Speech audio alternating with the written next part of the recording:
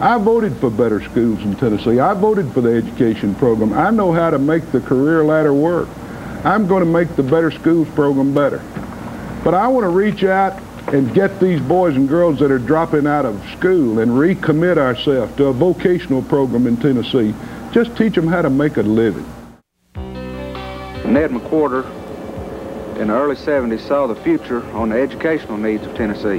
House Speaker Ned McWherter not only saw the future, he began to build it with vocational training in all 95 counties and better schools for our children.